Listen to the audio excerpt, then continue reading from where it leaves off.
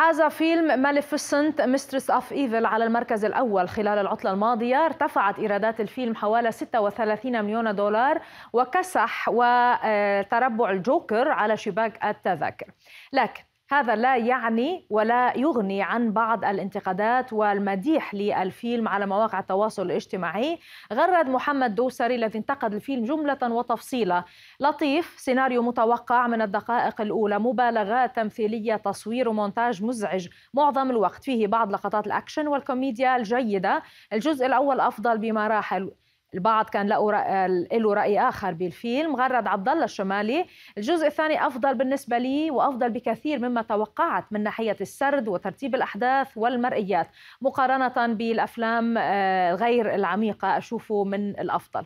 تعليقات أخرى خصت أنجلينا جولي ومنها تعليق يقول السينما مثل ما تعطيك الوجه الجميل أيضا تعطيك الوجه القبيح ولا ينفع ليزر ولا غيره. من ديزني بطولة أنجلينا جولي طبعا هذا الفيلم وميشيل بايفر